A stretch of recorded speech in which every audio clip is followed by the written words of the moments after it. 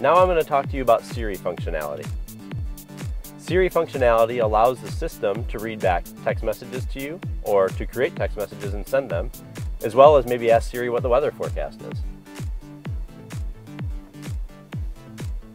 Siri, what's the weather like in Riyadh, Saudi Arabia?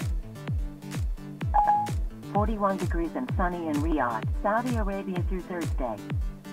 Wow, it really is hot in the Middle East.